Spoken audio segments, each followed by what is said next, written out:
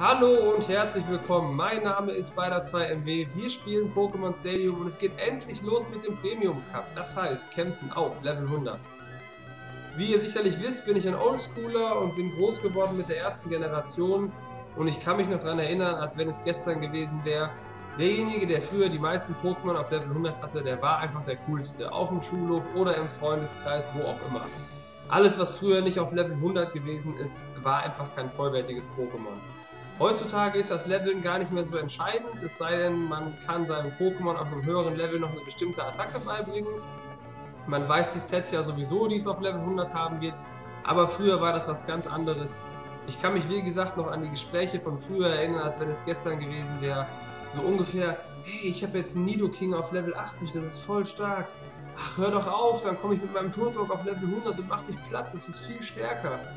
Also so sind früher die Gespräche gelaufen und deswegen ist dieses Leveln auf Level 100 einfach für mich immer was ganz Besonderes gewesen und deshalb freue ich mich auch umso mehr darauf, jetzt mit meinem Pokémon auf Level 100 kämpfen zu können. Also der Premium Cup. Anfangen muss ich natürlich mit der Klasse Pokéball. Kurz zu den Regeln. Es gibt eigentlich gar nicht viel zu sagen. Wie immer, sechs Pokémon anmelden, drei Pokémon auswählen und die üblichen Sonderregeln. Aber ansonsten all in. Ich kann alle Pokémon benutzen, es gibt keine Levelbeschränkungen. Wunderbar. Ich habe mir einige Pokémon vorbereitet, wie ich schon angekündigt habe, und habe jetzt mal zwei Teams registriert, mit denen ich antreten werde. Ich werde euch erstmal erklären kurz, wie die Teams aufgeteilt sind und dann werde ich die beiden Teams noch vorstellen.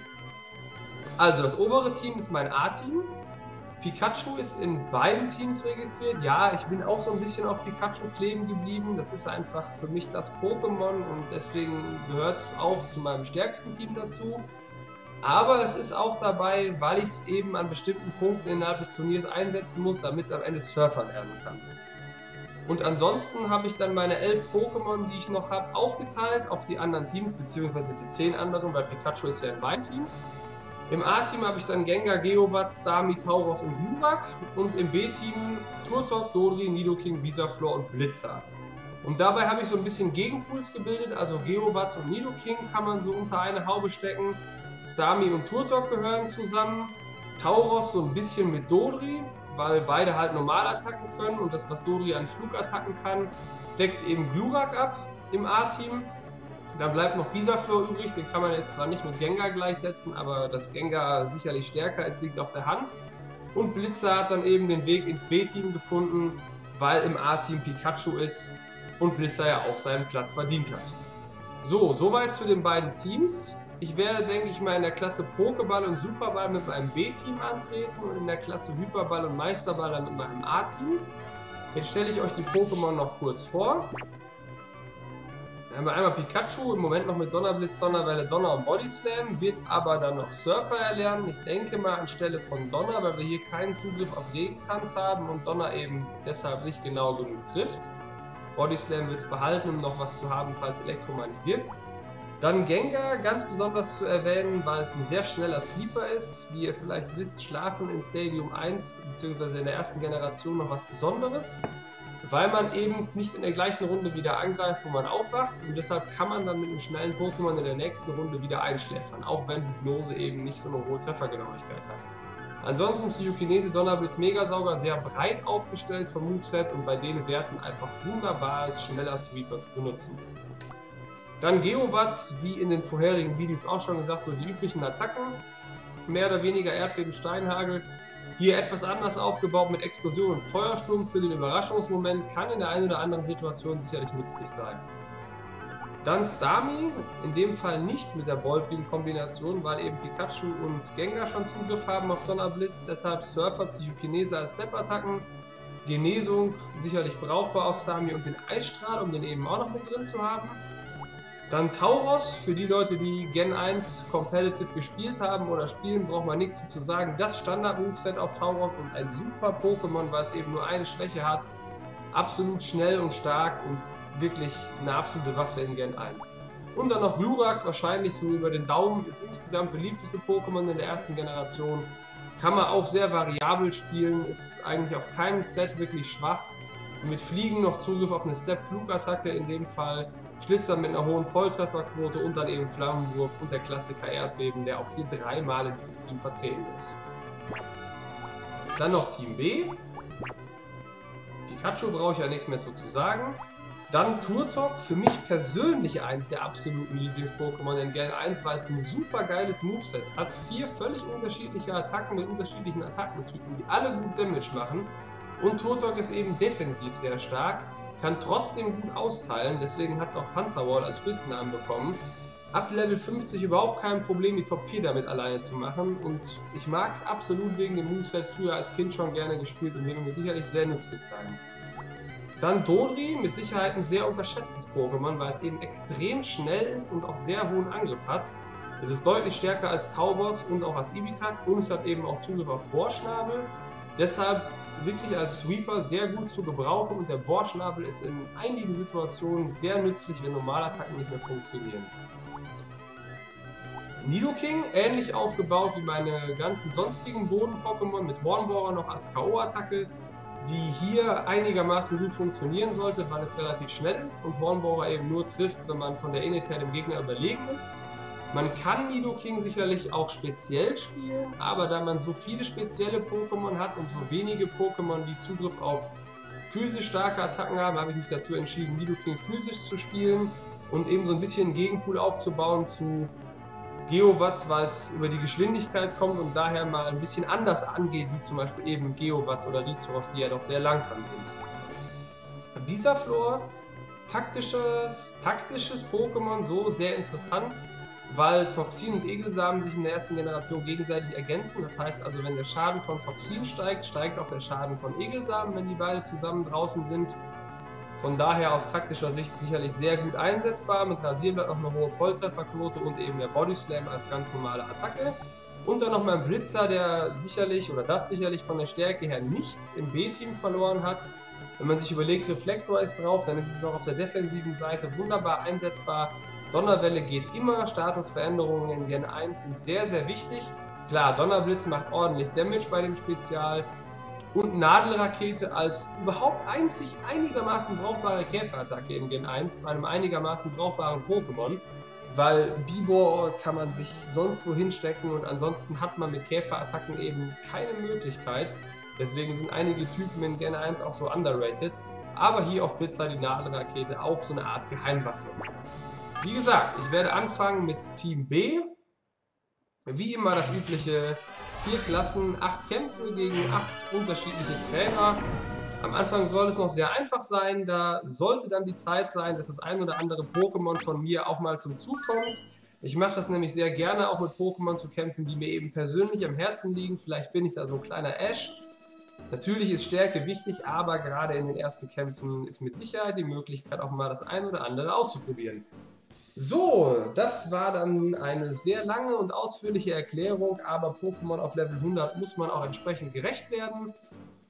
Jetzt geht's los mit den Kämpfen, wie immer am Ende ein kurzes Fazit und im letzten Video, also im Meisterball Cup, melde ich mich dann nochmal mit einem Gesamtfazit. Ich hoffe, ihr habt genauso viel Spaß mit den Kämpfen auf Level 100 wie ich.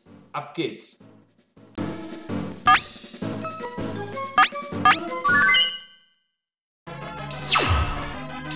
Endlich ist es soweit. Das Pokémon-Turnier im Premium Cup Kategorie Pokéball beginnt. Wer mag bei diesem offen ausgetragenen Match wohl gewinnen?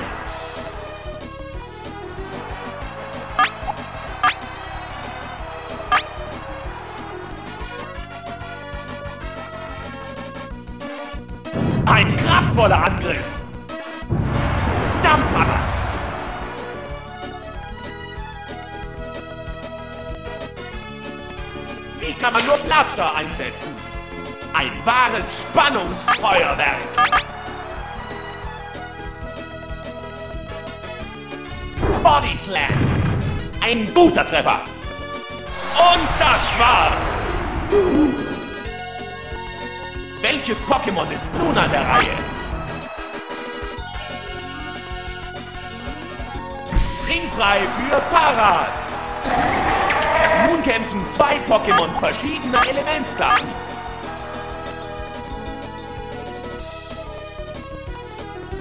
Erfrischen Eisstrahl. Oha, da hat jemand das falsche Pokémon gewählt. K.O. hat nicht gerade lang gedauert. Die Pokémon auf der Reservebank werden immer weniger. Ringfrei für Raufi! Der aktuelle Stand ist 3 gegen 1 Pokémon. Der Kampf ist nun sehr einseitig.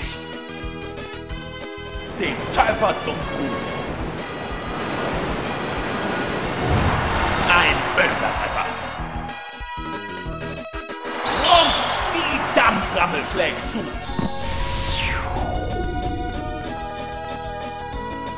Das war's. Der Kampf ist vorbei.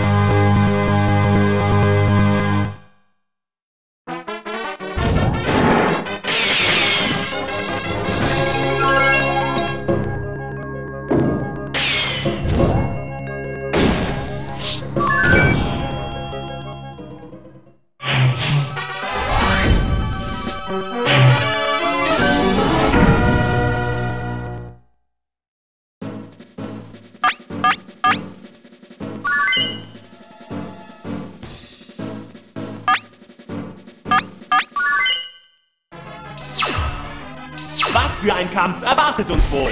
Die zweite Runde beginnt.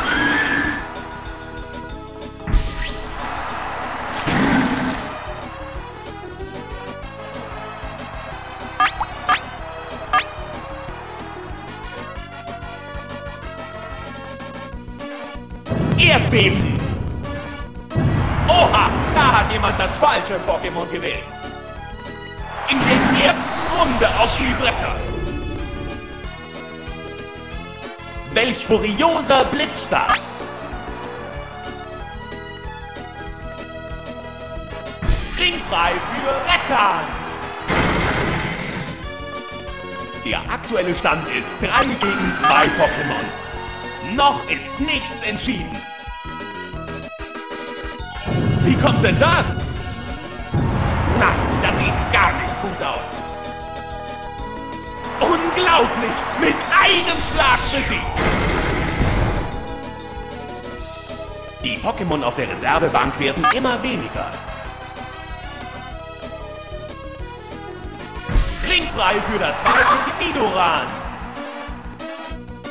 Der aktuelle Stand ist 3 gegen 1 Pokémon. Der Kampf ist nun sehr einseitig. Ein harter Treffer! Perfekter Treffer! Und die Dampframmel schlägt zu. Das war's! Der Kampf ist vorbei!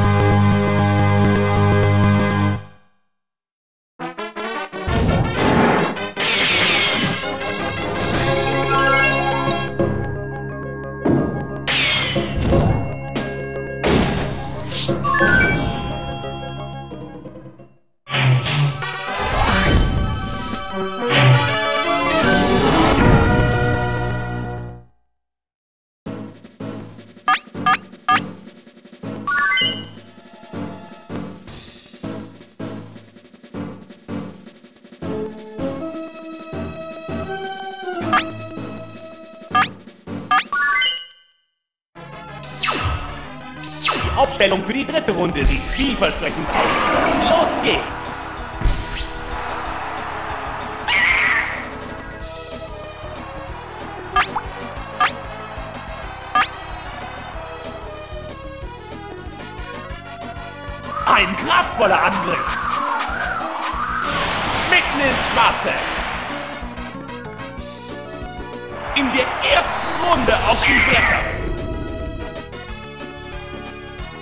Welch furioser Blitzstart!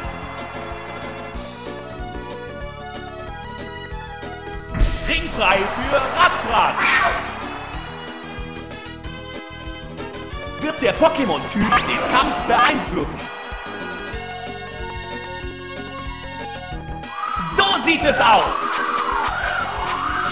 Das war eine Schwachstelle! Das hat nicht gerade lang gedauert. Die Pokémon auf der Reservebank werden immer weniger. Ringfrei für Macholo.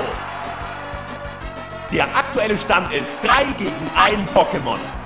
Der Kampf ist nun sehr einseitig.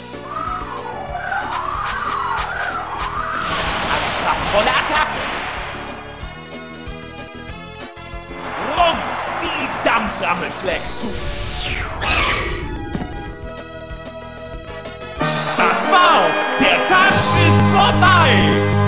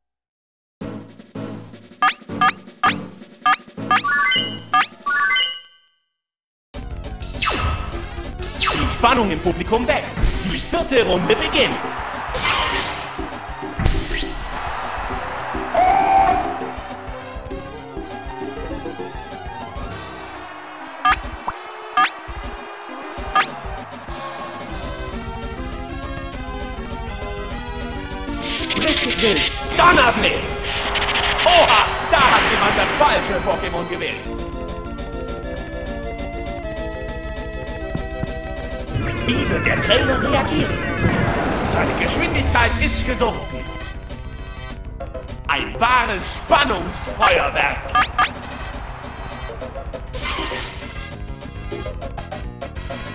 Body Slam. Ja, ein Treffer. Und das war's. Welches Pokémon ist nun an der Reihe?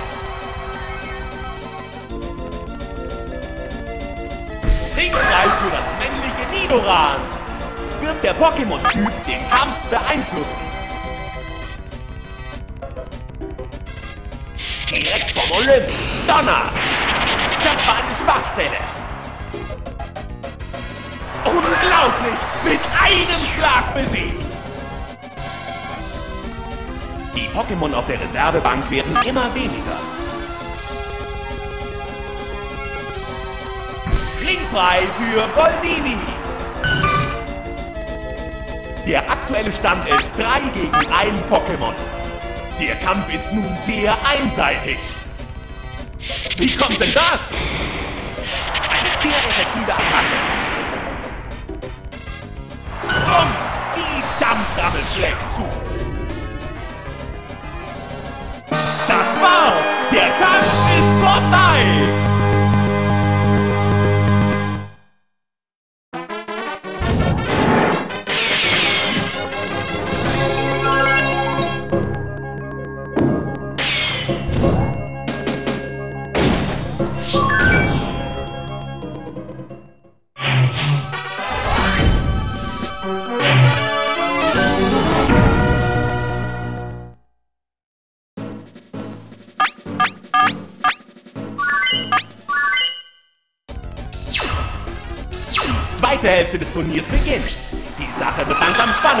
Auf in die fünfte Runde.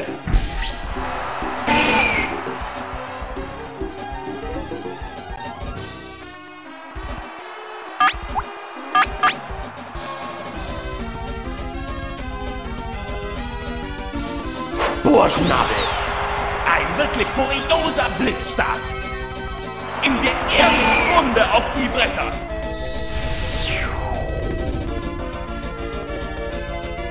Welch furioser Blitzstart!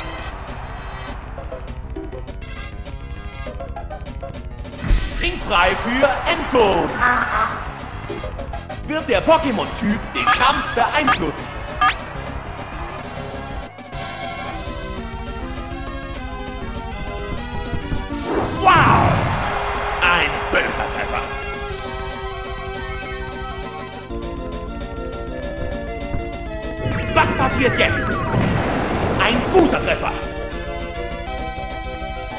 Kampf wird immer monotoner.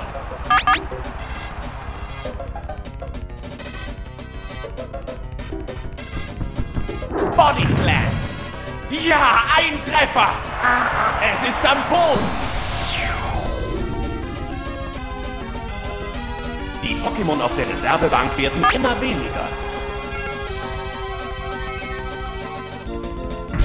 Frei für Evoli. Der aktuelle Stand ist 3 gegen 1 Pokémon. Der Kampf ist nun sehr einseitig. Das war ein Hyperstrahl. Das hat gesetzt. Unglaublich! Mit einem Schlag besiegt! Das war's! Der Kampf ist vorbei!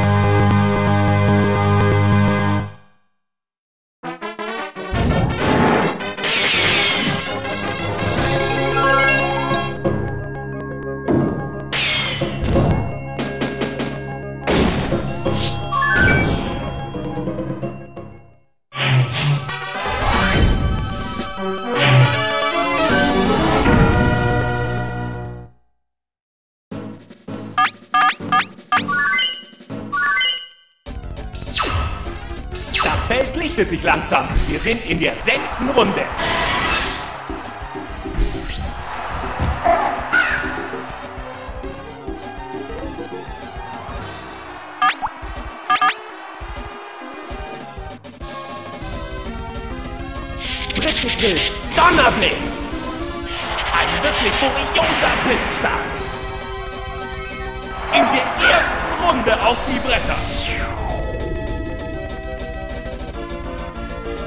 Könnte ein einseitiger Kampf werden.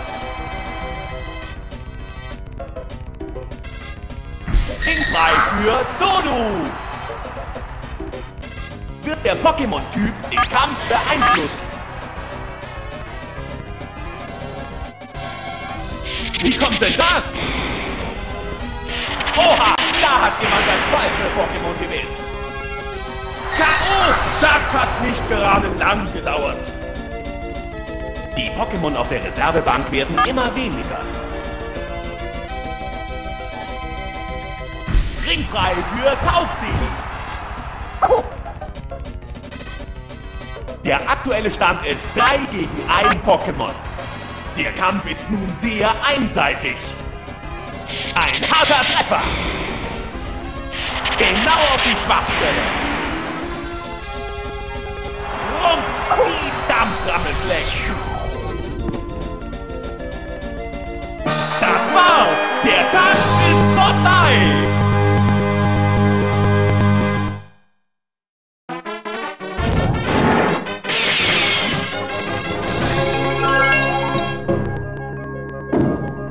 das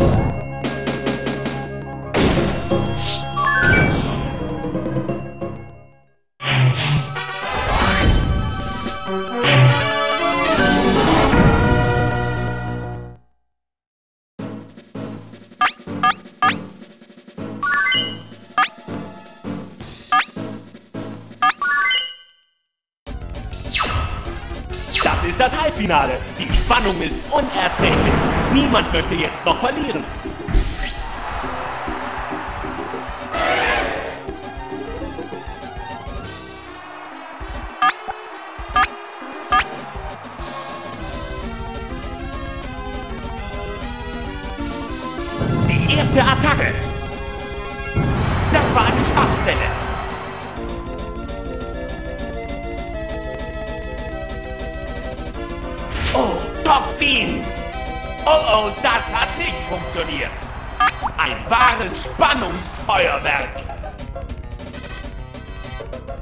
Body Slam. Ja, ein Treffer. Und das war's. Welches Pokémon ist nun an der Reihe?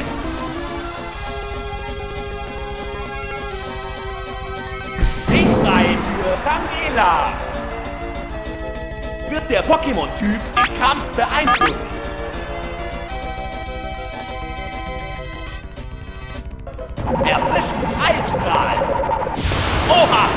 Jemand das falsche Pokémon gewählt.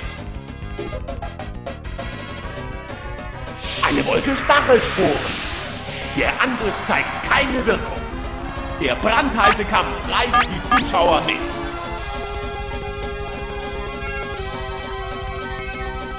Wie kommt denn das? Steinhart!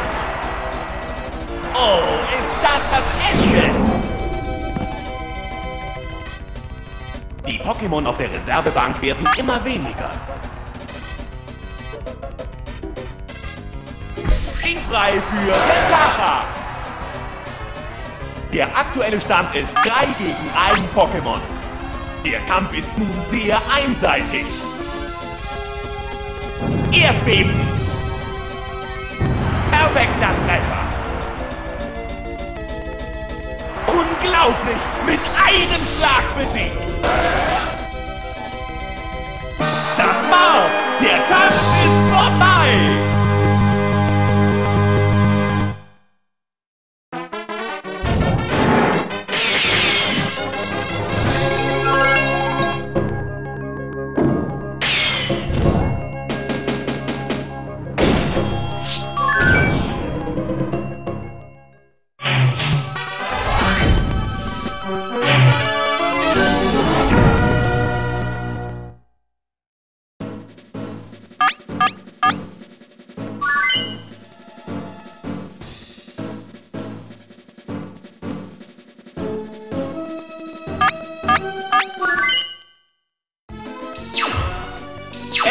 Soweit, das Finale! In Kürze dürfen wir einen glorreichen neuen Champion feiern!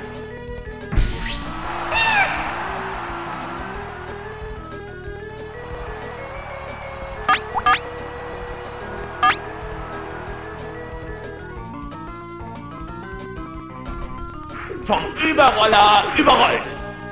Oha, da hat jemand das falsche Pokémon gewählt! In der ersten Runde auf die Bretter! Welch furioser Blitzstart!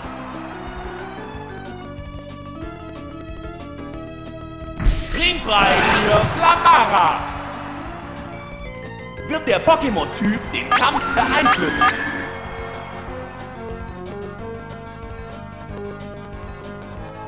Erdbeben! Na, das sieht gar nicht gut aus. Unglaublich! Mit einem Schlag besiegt! Die Pokémon auf der Reservebank werden immer weniger.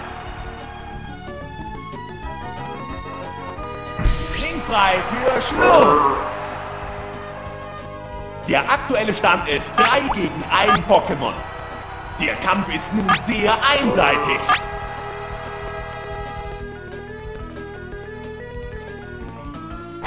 Autsch, Hornbohrer! Oh, die Attacke ging daneben. Ist Superschall. Oh, oh, das hat nicht funktioniert. Ein sehr rasanter Kampf.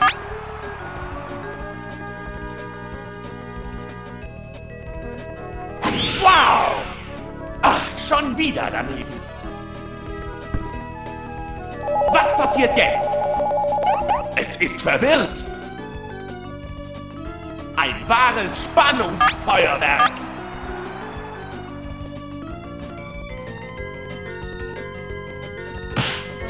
Hoppla, es greift sich selbst an. Ein schrecklicher Kreideschrei. Der Angriff zeigt keine Wirkung. Der brandheiße Kampf reißt die Zuschauer mit. Ah! Ziel verfehlt. Was geht ab? Seine Verteidigung ist gefallen. Der Arena-Fight geht weiter.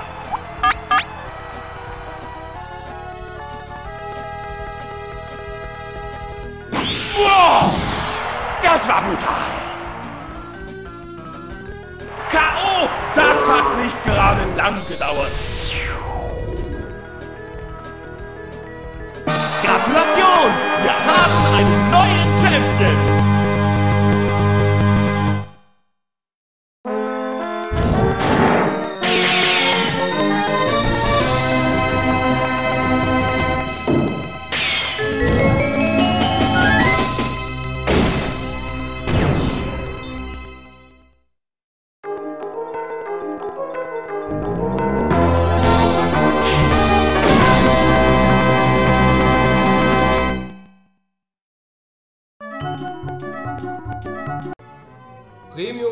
Klasse Pokéball, um es mal in den Worten des Moderators zu sagen, ein furioser Blitzstart.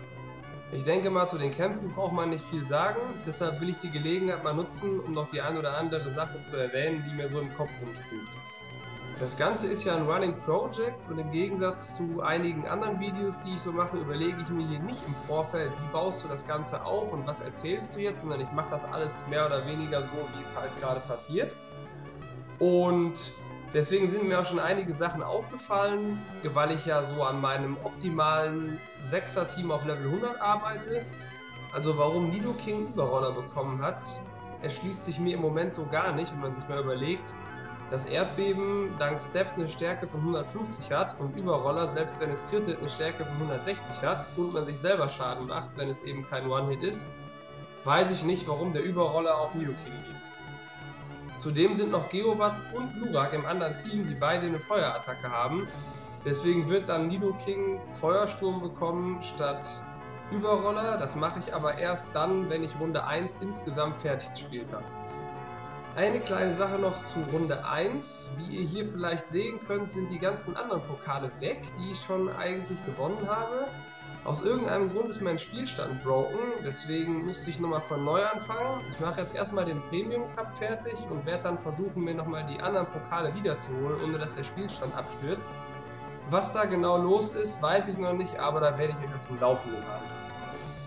Was mir sonst noch so aufgefallen ist, ich habe den Kampf zum Schluss extra mal mit Hornbohrer beendet, weil dabei musste ich an mein übelstes Pokémon aller Zeiten, glaube ich, denken, in der ersten Generation damals ein Mew gehabt mit Weichei, Donnerwelle, Hornbohrer und Geofissur, glaube ich, war es. Und dann halt auch AP plus drauf, also 16 K.O.-Attacken zur Verfügung.